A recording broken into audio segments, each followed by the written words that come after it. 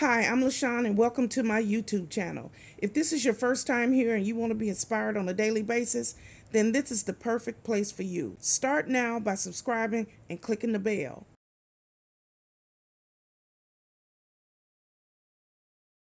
Hello, hello. My name is Lashon and welcome to my YouTube channel. This is a very simple lifestyle vlog where I get here every morning and I try to uplift, encourage, and inspire as many people as I possibly can. Let me tell you a little bit about myself. I am the divorced mother of three adult children. I have two boys and a girl. I am a United States Navy veteran. I'm also a surgical tech. I am disabled and I work full time here now from my home. I am a hustler. That's right, I'm a hustler. I get up every day and I work. I do something for my YouTube channel every single day. And I love what I do. I love to help people, uplift people, encourage people, and talk about the love of the Lord. That's right. So, this is my new intro. So, here I am. and if you like what you see, click like, share, comment, and come back here on a daily basis. So here's today's video.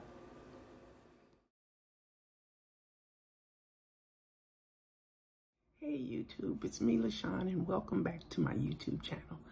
I'm doing this video today because I um, do movie nights and I did a video about movies and I got quite a few comments about dating because my title said um, movie night at my apartment or something like that. So I didn't say, you know, like I usually do, ooh, let's watch a movie on one of the apps for free because I'm always trying to save money. I'm a frugal minimalist. That's what I do. And so I guess they assumed I had a date. Hmm. Okay. Now, uh, you know, only a, uh, you know, YouTube is hard. It's, it's hard in a sense where you want to share certain things. You don't want to share other things. And, you know, that's your God-given right. You can do that because I, I am one of those people that feel like I'm honest and truthful and authentic. And I tell you everything that I say I'm going to tell you. But certain things I do keep to myself because they private. And I've said I've said this million times before that you have to protect your heart. And uh, uh, and some of those things that people ask, I just don't answer them because I get questions and stuff. And I haven't done a Q&A in a while, but I just do what makes me feel okay and safe. Uh, this is a real simple one they asking about me dating. Okay, so by the time I did this, do this video, I'm 54 years old. Okay, so I've been married and uh, for all my life up until, let me see, 2015, it's 2004. I got divorced in 2015, nine years ago. Okay, and that's part of my story. Um, I love my husband. We got divorced, period. Now, sometime in between, um, when I was dating, I had, his name was Paul. He was absolutely wonderful. Um, he uh, went to the same church that I went to. We shared the same ideals and our lives together. He was a widower and I was a divorcee. And we both were living our lives celibate, but we cared for each other. So I dated him for quite some some time and then he wanted to marry me and I just I don't want to be married anymore. I just been I was with my husband all my life. So what I decided after all my therapies and everything that I had to do to get myself back to where I was is is that I had to say, okay, it's not your fault. It's a combination of you and him. Things didn't work out. You know, I had a problem with the stigma at the church. I had a problem with my own ideals of what it should have been. So for me, it was a, a, a hard situation. And I didn't want to get back into that. Now, yeah, I could have married Paul. He was a wonderful man, took great care of me. But I had to live in my alone time, in my singleness, to try to figure out if I was even capable of living alone again. And I know that sounds um, maybe a little harsh for some people, but this is me. I'm speaking first person.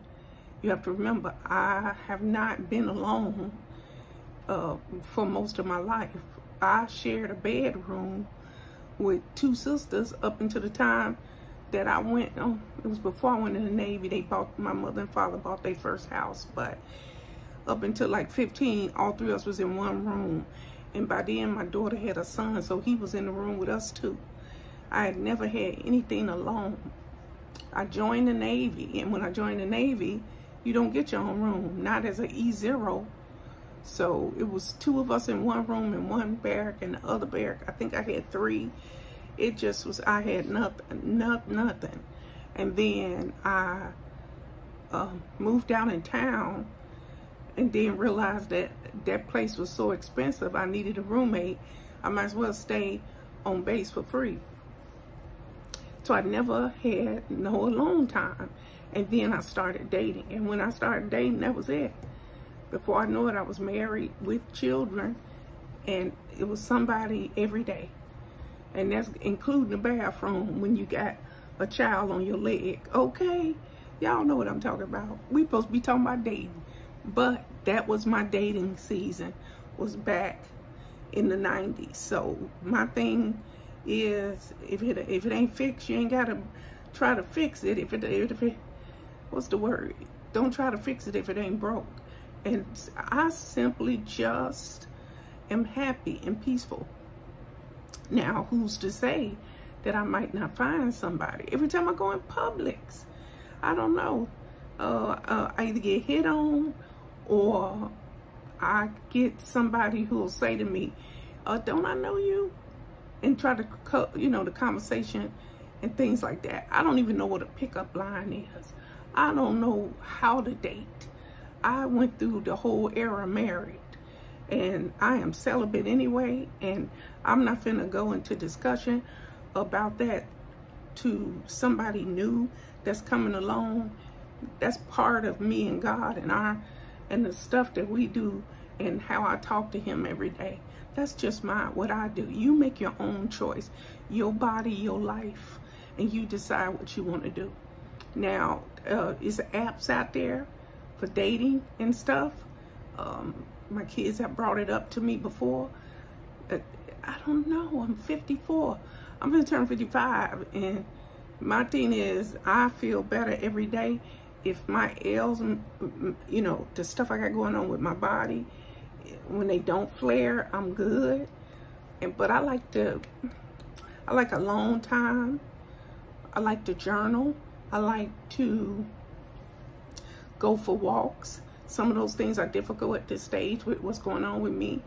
But I just don't want to start over and have to explain every single thing, every mark on my body, every deformity or whatever.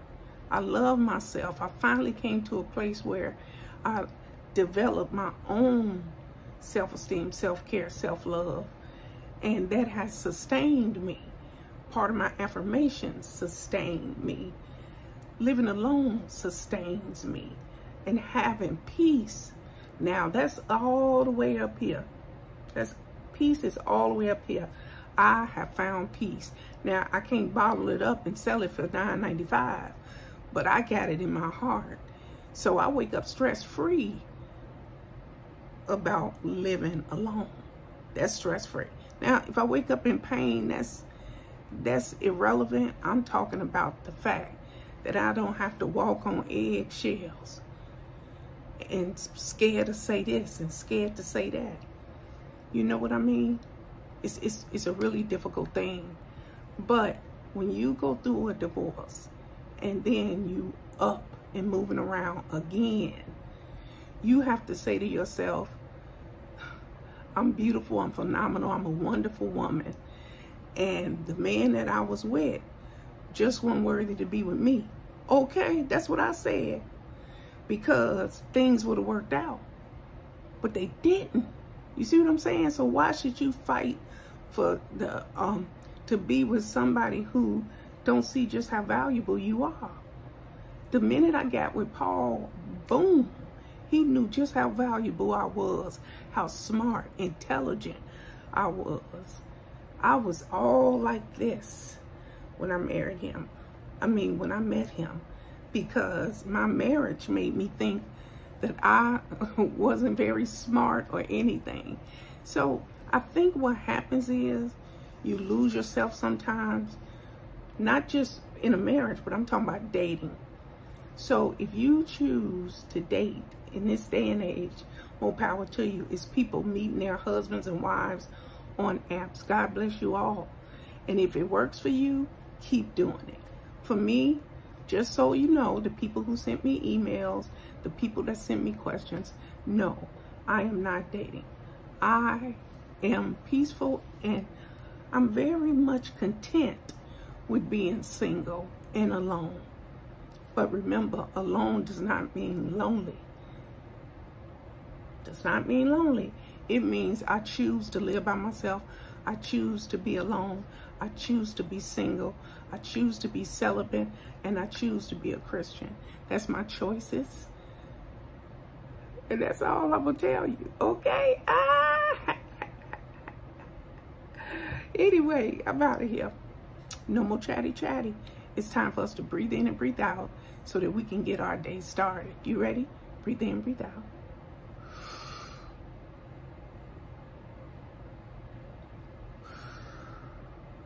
We thank you, Father. We thank you for another day, Father God. We are so grateful for this day. We are so glad you woke us up today, Father God. I thank you, Father God, for my three children, for Elijah and Lyric and Patrick, Father God. Thank you for holding on to my children, Father God.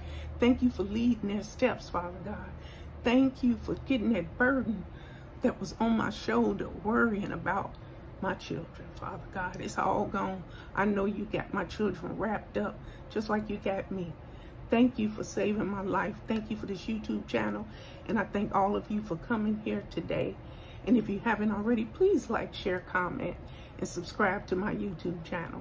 But more than that, you have to click that bell so you're notified every single time I come out with a video. Okay?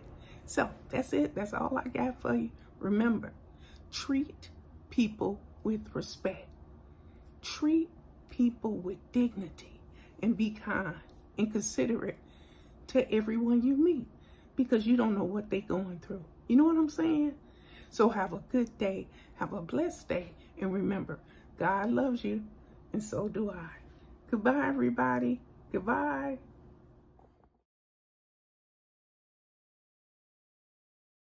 Thank you guys for watching today. Hope you enjoyed today's video.